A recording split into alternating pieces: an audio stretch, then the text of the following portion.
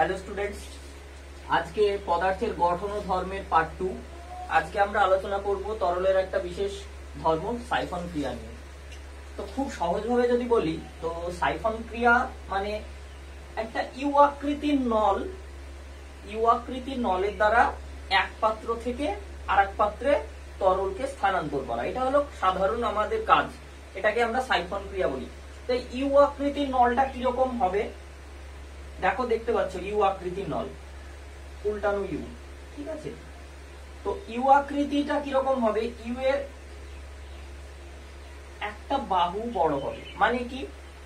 এই যে ইউ আকৃতি যে নলটা হবে, দেখতেই পাচ্ছ, এই যে এ, বি অংশ মানে কি? তার একটা অংশ নলটার আর একটা অংশের থেকে তো ছোট হবে। দেখো সিডি অংশটা অনেকটা বড় এই পাইপটার, এই দিকটা। তো সেরকম হওয়া দরকার। প্রথম কন্ডিশন তবেই সাইফন ক্রিয়া হবে। আর কি? যে পাত্র দুটোতে এক পাত্র থেকে, ধরো আমি পি থেকে কিউ এর দিকে, এটা ধরো জল, জলকে স্থানান্তর করছি। মানে তরলকে স্থানান্তর করছি, এই পাইপটার দ্বারা। তো এই এই যে পাত্র দুটোকে অবশ্যই সেম হাইটে থাকলে কেন কি কি প্রবলেম আসতে পারে সেটা আলোচনা করব। প্রথমত ধরো যে এটাকে এই পি এর হাইট এবং কিউ এর হাইট এর মধ্যে ডিফারেন্স থাকা চাই। অবশ্যই মানে যে দিকটা পাইপের বড়, এক কথায় সেই দিক, সেই দিকে যে পাত্রটা রাখা থাকবে সেটার হাইট সবসময় ওই ছোট বাহুর দিককার যে পাত্রটা, যে পাত্র থেকে আমরা স্থানান্তর করছি তরলটাকে, সেই পাত্রটার থেকে তো নিচে থাকা চাই। যদি সমান হাইট হয়, কি হবে দেখছি পরে। তো এটাকেই আমরা বেসিক্যালি সাইফন ক্রিয়া বলি। তো দেখো সাইফন ক্রিয়াতে অ্যাকচুয়ালি ঘটেটা কি?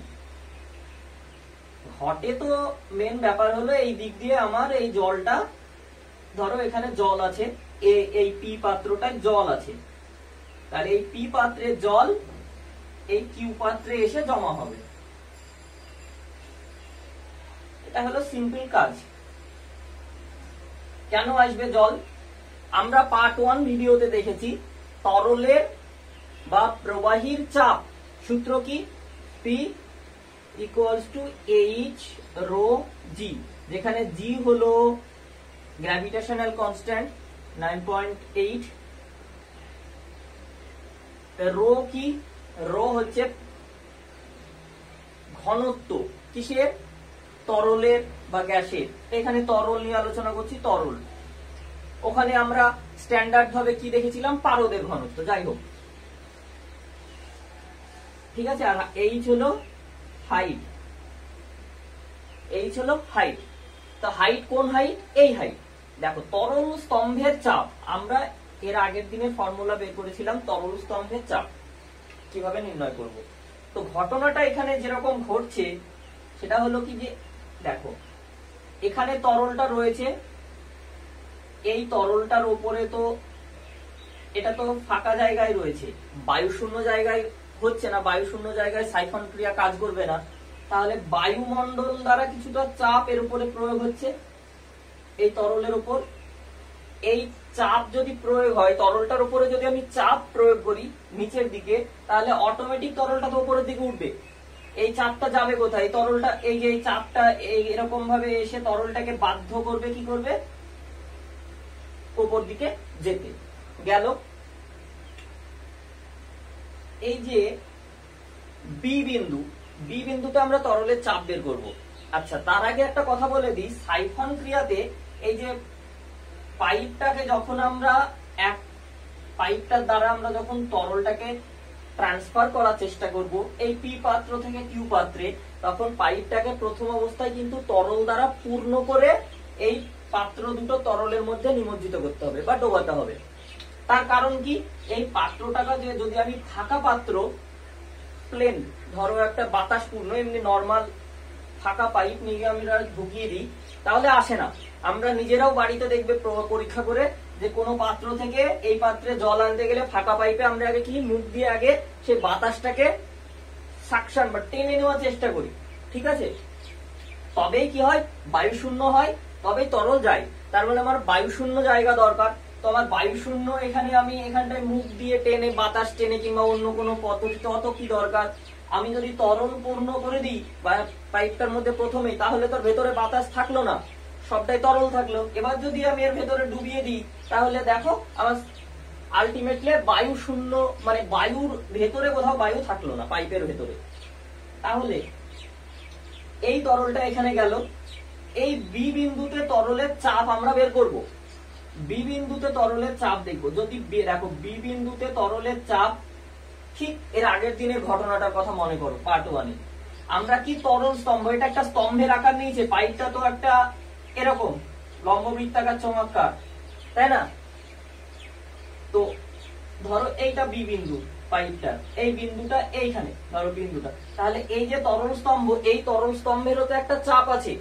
নিশ্চয় বায়ুমণ্ডলের চাপ বেশি যদি হয়, তবেই সেই তরল স্তম্ভের চাপটাকে অতিক্রম করে এই পাশে যাবে তরলটা। যদি তরল স্তম্ভের চাপ বেশি হয়, কারণ আমি তরল পূর্ণ করে আমি দিয়েছি পাত্রের মধ্যে নিমজ্জিত করেছি। তরল পূর্ণ অবস্থায় যদি এই বিন্দুতে তরল এই অংশে তরল, এই যে এই অংশে তরল, এই পাইপের মধ্যেকার এই তরল স্তম্ভের চাপ যদি বেশি হয়, বায়ুমণ্ডলের চাপের থেকে তো তাহলে তরল আবার এই পাত্রের মধ্যে ঢুকে যাবে। এটা আমাদের সাধারণ জ্ঞানে বুঝতে পারছি। যেদিকে চাপ বেশি সেদিকে যাবে। তাহলে এই বায়ুমণ্ডলের চাপের থেকে তো অবশ্যই বি এর চাপ বি বিন্দুতে তরল স্তম্ভের চাপ বায়ুমণ্ডলের থেকে তো কম হতে হবে। তবেই বায়ুমণ্ডল চাপ দেবে, বাকি তরলটা, তখন তরলটার মধ্যে একটা ফ্লো আসবে বা প্রবাহ আসবে, যার কারণে তরলটা এই এই এই পাত্রে এসে জমা হবে। ঠিক আছে? ঠিক একই তো ভাবে জমা হচ্ছে দেখো, যখন জমা হচ্ছে, ধরো এটা ভর্তি ছিল না, আস্তে আস্তে ভর্তি হচ্ছে। ধরো এটা ভর্তি ছিল না জল দ্বারা, আস্তে আস্তে হচ্ছে। তো এই যে ভর্তি হচ্ছে, এখানেও তো আবার একটা বায়ুমণ্ডল চাপ প্রয়োগ করছে। এই কন্ডিশনগুলো মনে রাখবে। এখানেও বায়ুমণ্ডল চাপ প্রয়োগ করছে, এখানেও যদি বায়ুমণ্ডলের চাপ বেশি হয়ে যায়, তাহলে কি হবে? এ তো আবার বাধা দেবে। এখানে যদি বায়ুমণ্ডলের চাপ বেশি হয়, দেখো, নামছে কোন দিক দিয়ে ফ্লো কোন দিক দিয়ে? এই দিক দিয়ে। কারণ কি? এই পাত্রে বায়ুমণ্ডলের চাপটা বেশি আছে। বায়ুমণ্ডলের চাপ তরল স্তম্ভের থেকে তো বেশি আছে। সেই কারণে ফ্লো হচ্ছে তরল। এবার আমার সি বিন্দুতে যদি আমি তরল স্তম্ভের চাপ দেখি, এখানেও একটা তরল স্তম্ভ এটাও একটা বড় তরল স্তম্ভ এই চাপ, এই সি বিন্দুতে পিসি ধরো লিখলাম। তরল স্তম্ভের চাপ একটা ক্রিয়া করছে। এই চাপ যদি আবার বেশি হয়, তবেই কিন্তু তরলটার নিচের দিকে ভর্তি হবে, তরলটা নামবে। তরলে, এই তরল স্তম্ভের চাপ বেশি হতে হবে। এই পাত্রে তবেই তরলটা ভর্তি হবে। যদি চাপ কম হয়, তাহলে কি হবে? তাহলে আবার তো এইদিকে বায়ুমণ্ডল চাপ দিচ্ছে, তাহলে তো আবার ফ্লো বন্ধ হয়ে যাবে। বায়ুমণ্ডল বাধা দেবে, এইদিকে ঘোরানোর চেষ্টা করবে তরলটাকে, আর উপর দিক থেকে তরল নামার চেষ্টা করবে। দুটো যদি ইকুয়াল হয়ে যায়, তাহলে আর কি ফ্লো হবে? হবে না। তাহলে এটাও একটা কন্ডিশন কিন্তু সাইফন ক্রিয়া। তাহলে সাইফন ক্রিয়ায় আমাকে তরল এক পাত্র থেকে আরেক পাত্রে ট্রান্সফার হতে গেলে এই তরল স্তম্ভের যে চাপটা আছে, এই তরল স্তম্ভের যে চাপটা আছে সেটা বায়ুমণ্ডলের থেকে তো কি হতে হবে? কম হতে হবে। এই তরল স্তম্ভের যে চাপটা আছে সেটা বায়ুমণ্ডলের থেকে তো এই সরি এই এই তরল স্তম্ভের যে চাপটা রয়েছে সেটা বায়ুমণ্ডলের চাপের থেকে তো কি হতে হবে? বেশি হতে হবে। এই তরল স্তম্ভ যেটা, এ বি তরল স্তম্ভ যে চাপটা রয়েছে সেটা বায়ুমণ্ডলের থেকে তো বায়ুমণ্ডলের চাপের চেয়ে তো কম হতে হবে মানে বায়ু দ্বারা যে চাপটা প্রয়োগ হচ্ছে তার থেকে কম হতে হবে। সিম্পল ব্যাপার। আচ্ছা এবার দেখব যে আমরা যদি এই বি বিন্দুতে তরলের চাপটা বের করি বি বিন্দুতে তরলের চাপ কি? বি বিন্দুতে তরলের চাপ বি বিন্দুতে তরলের চাপ পিবি লিখলাম। সমান কি? হাইট আমরা কি ধরেছি? এইচ টু ধরেছি। এই অংশটা এইচ টু ধরেছি। হাইট এইচ টু রো তরলের ঘনত্ব। ঠিক আছে? রো রো আমরা ধরো রো রোই রাখলাম। ধরো রো ওয়ান লিখে দিলাম। কিংবা এইটাকে এইচ টু নাম দিয়েছি এটাকে রো টু নাম দিলাম, ধরো। রো টু আর জি এর মান তো কনস্ট্যান্ট এটা গেল কি? বি বিন্দুতে তরলের চাপ। আমি সি বিন্দুতে যদি তরলের চাপ বের করি পিসি দেখো, এটার হাইট কত রেখেছি? এইচ ওয়ান এইচ ওয়ান তাহলে এইচ ওয়ান এটা ধরো রো ওয়ান লিখলাম। আর কি? জি তাহলে এটা হলো বি বিন্দুতে তরলের চাপ, এটা হলো সি বিন্দুতে তরলের চাপ। ঠিক আছে? আচ্ছা। এবার দেখো, সাইফনের আমরা প্রথমেই বললাম কি, একটা বাহু আর একটা বাহুর থেকে তো ছোট হতে হবে। দেখো, এখানটায় কি? এই দেখো, এখানে হাইট কি? এইচ টু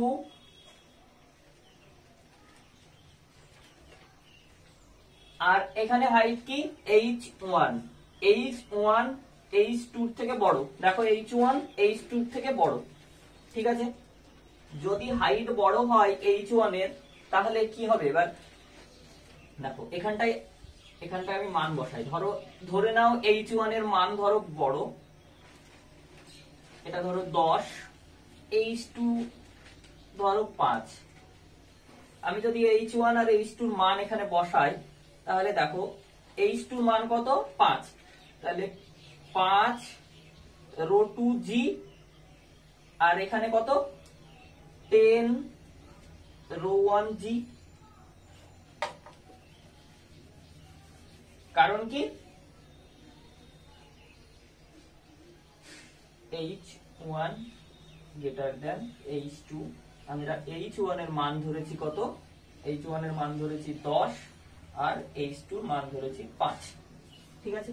তাহলে দেখো দেখো, রো ওয়ান আর রো টু দুটো তো একই তরল, ঘনত্ব তো একই হবে। এটা যদি জল হয়, আমি তো জলই ট্রান্সফার করছি, এই পাত্রেও তো সেই জলই জমা হচ্ছে, তাহলে তরলের ঘনত্ব তো এক। যে যত তরলই ধরো, পারদ ধরলে পারদ এখানেও পারদ এখানেও পারদ, তাহলে ঘনত্ব সব তর- তরলের এক, যেহেতু একই তরল জি এর মান কনস্ট্যান্ট ঘনত্বও সেম তাহলে পাঁচ রোজি বড় না টেন রোজি বড়? টেন টেন রোজি বড়। ঠিক আছে? দশ বেশি। দশটা কি? এইচ ওয়ান তার মানে সি সি বিন্দুতে তরল স্তম্ভের চাপ বেশি। কন্ডিশন কি ছিল? তরল স্তম্ভের চাপ বেশি হবে বায়ুমণ্ডলের থেকে, তো তবেই এই তরলটা নিচের দিকে নামবে। যদি সেম হয়ে যায়, তাহলে নামবে না। যদি তরল স্তম্ভের কম হয়ে যায়, তাহলে আবার এই বায়ুমণ্ডল দিকে প্রেসার দিবে আলটিমেটলি তা হবে না। তো সেই কারণে, দেখো সি বিন্দুতে এটা হলো বেশি। চাপ কি? বেশি। আর বি বিন্দুতে তরল স্তম্ভের চাপ কি? কম। বি বিন্দুতে তরল স্তম্ভের চাপ কম। সেটাই তো দরকার ছিল, প্রথম থেকে বলছি। বি বিন্দুতে তরল স্তম্ভের চাপ কেন কম? যদি কম না হয়, তাহলে এই বায়ুমণ্ডলের চাপ যদি বেশি না হয়, আর এটা যদি কম না হয়, তাহলে এই তরল এই পাইপের মধ্যে উঠবে না। সিম্পল ব্যাপার। আচ্ছা এ তো তরল স্তম্ভের চাপ আমরা বের করে ফেললাম। এই এই কন্ডিশন এটা হলো সাইফন ক্রিয়ার ধর্ম। এবার কন্ডিশন কি? আমরা প্রথমে বলেছিলাম, এটাকে বলেছিলাম সাইফন ক্রিয়াতে একটা পাত্রকে, যে পাত্র থেকে আমরা জল কিংবা লিকুইডকে তরলকে ট্রান্সফার করব, ঠিক আছে? সেই পাত্রটাকে উপরের হাইটে থাকা দরকার। উ- একটু উঁচু- জায়গায় থাকা দরকার। কার সাপেক্ষে যে ফাঁকা জায়গাটা বা যে পাত্রে আমরা সেই তরলটাকে কালেক্ট করব, ঠিক আছে? তাহলে কালেক্ট করব যেটা, সেটাকে এই পাত্রের তুলনায় নিচের দিকে বা নিম্ন হাইটে থাকা দরকার। যদি সেম হাইটে থাকে তাহলে কি হবে? সেম হাইটে থাকলে, দেখো, আমাদের কন্ডিশন কি ছিল? এটা আমি মুছে দিচ্ছি।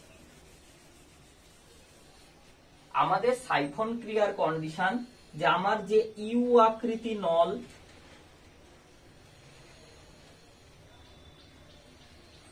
সেটা একদিকের দৈর্ঘ্য আর একদিকের থেকে তো ছোট হতে হবে। ঠিক আছে? দুই কি? পাত্র দুটোকে সেম হাইটে থাকা যাবে না। এই সব কন্ডিশনগুলোর মেন উদ্দেশ্যটা কি বলতো? আসলে আমাদের সাইফন ক্রিয়ার মেন উদ্দেশ্যটা কি? আমাদের বেসিক প্রিন্সিপালি হলো যে আমি বায়ুমণ্ডল এই তরলটাকে চাপ দিবে আর এই তরলটা এইখানে যাবে।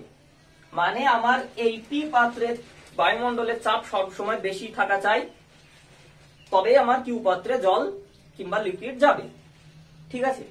যদি পাত্রের এই দুই পাত্রে চাপ যদি সমান হয়ে যায়, তাহলে আর ফ্লো হবে না। এটা মেন ব্যাপার। যদি আমার নলের হাইট দুটো সেম হয়ে যায়, দেখো, এবার কন্ডিশনগুলো বুঝতে পারবে। যদি নলের হাইট দুটো, ইউ আকার নলের যদি হাইট দুই পাশেরই হাইট মানে একদিকের নল ছোট একদিকে বড় বলছিলাম, সেটা আমি যদি সমান করে দিই, তাহলে সাইফন ক্রিয়া হবে না। কেন হবে না? তাহলে এখানে পাঁচের মান কত হয়ে যাবে? এইচ ওয়ান আর এইচ টুর মান, দুটোর মানই দশ হয়ে যাবে। সমান হয়ে গেলে তাহলে দুজনের সমান, দুজনের প্রেশারই সমান। জলের ফ্লো হবে না তাহলে। আচ্ছা যদি হাইট মানে কি? এই দুটো সমান করা মানে কি? এইচ ওয়ান হাইট সমান করা। H one R H two H one equals to H two হয়ে গেল। এটা করলে হবে না, জলের ফ্লো ঠিক একই ব্যাপার। যদি ধরো আমি সেম হাইটে রাখলাম দুটো পাত্রকে।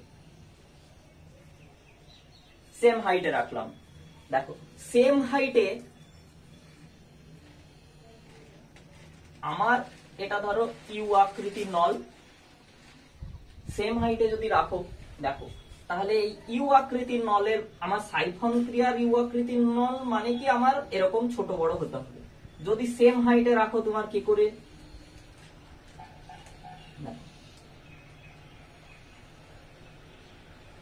এই একটা পাত্র, এই একটা ধরো, জায়গা। সেম হাইটে রাখা সম্ভব? রাখতে গেলে কি হচ্ছে? পাইপ। সম্ভব হচ্ছে না? তাহলে সেম হাইটে রাখা দুটো পাত্র সম্ভব নয়। পাত্র দুটোর মধ্যে উচ্চতা ডিফারেন্স থাকা চাই। তো এই হলো বেশ বেসিক কিছু কন্ডিশন সাইফন ক্রিয়া সাইফন ক্রিয়ার অনেক ব্যবহার হয় এক পাত্র থেকে।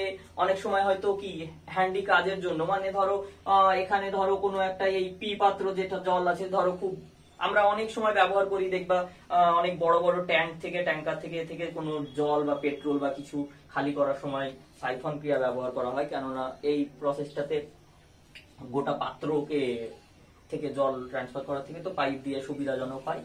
তো সেরকম কাজে তারপরে তোমার আমাদের টয়লেটে ফ্ল্যাশে ব্যবহার করা হয়। তো সাইফন ক্রিয়া, এই আজকে এই পর্যন্তই। যদি বুঝতে কোথাও অসুবিধা হয়, তাহলে অবশ্যই কমেন্ট করেও। আর এর আগের দিনের ভিডিওতে দুশোটা লাইকের একটা এম রেখেছিলাম। দেখি এই ভিডিওতে আমি কিছু আর বলব না। আমি একদিনই একটা ভিডিওতে বলেছিলাম। তো তোমরা যাই, দেখি কতটুকু শেয়ার করো, কতটুকু লাইক আসে। থ্যাংক ইউ আজকে এ পর্যন্তই। Bye bye